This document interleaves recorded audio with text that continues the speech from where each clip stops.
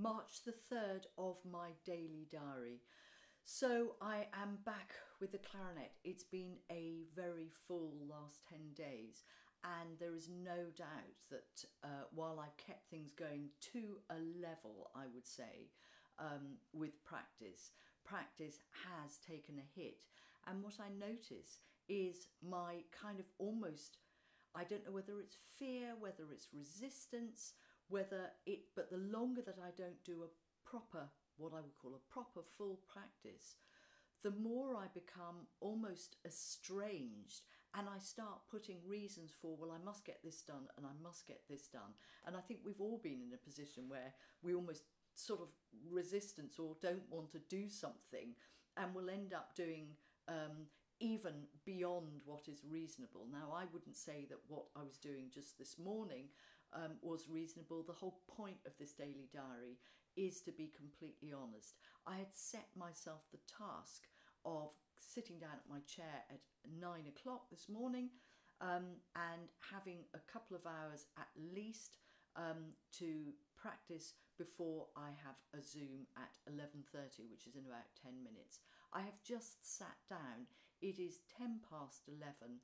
I have, I was in my office stroke music room at nine o'clock, um, but I chose to do some other, what are certainly equally, well, I'm not going to say equally, they are important tasks but that has meant that the practice once again has taken a hit.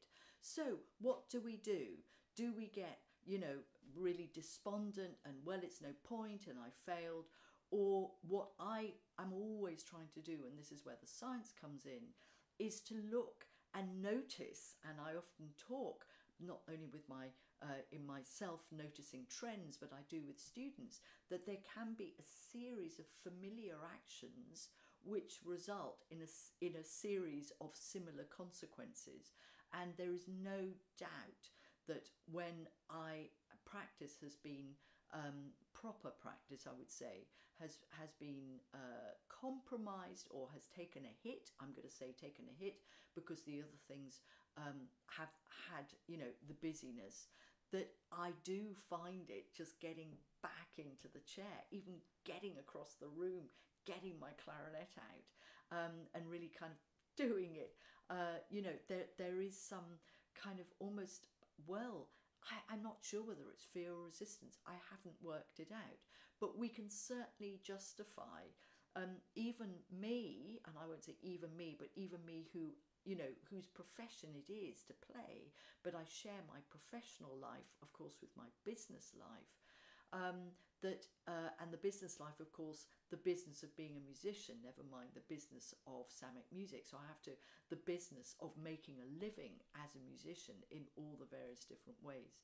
Um, but nonetheless, if I am not fit for purpose, then all the other stuff uh, is going to uh, not end well. I would say. So it's been it's been curious. Um, and uh, I've got this Zoom very, very shortly. But I thought this was really fresh in my mind. I've got the clarinet out. Um, thankfully, the reed was being kind about five minutes ago.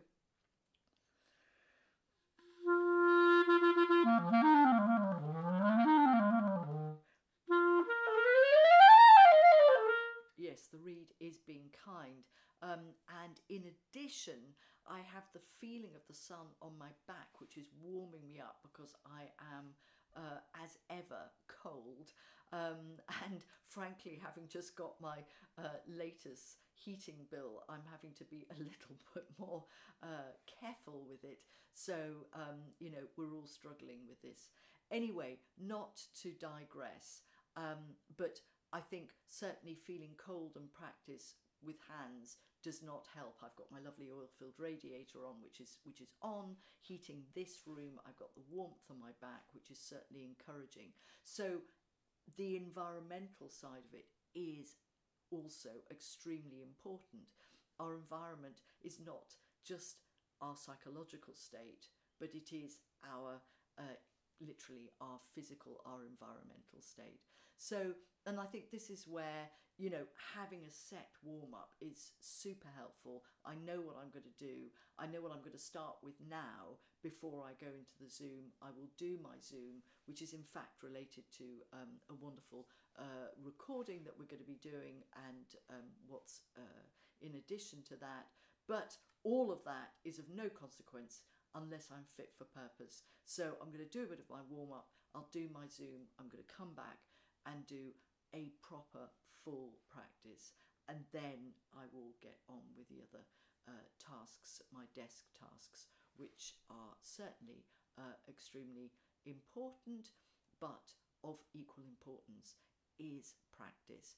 And also, I will mention for my emotional and mental state, which is, you know, if I'm pushing myself out there, I have to feel fit for purpose. So, in all of this, practice in every sense in a physical, in a psychological, in an emotional, uh, practical, all the rest of it is vital for our, well, certainly my health and well being in terms of what I uh, want to do in my professional life um, and also to me as a musician.